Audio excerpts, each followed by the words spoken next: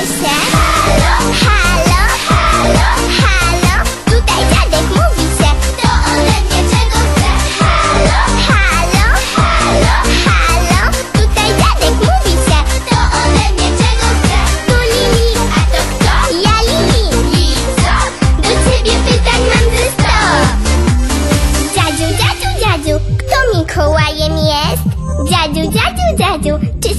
mieszka gdzieś?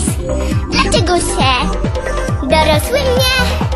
Mówi umyj zęby, czapkę włóż, bo zimno jest Skąd może ma?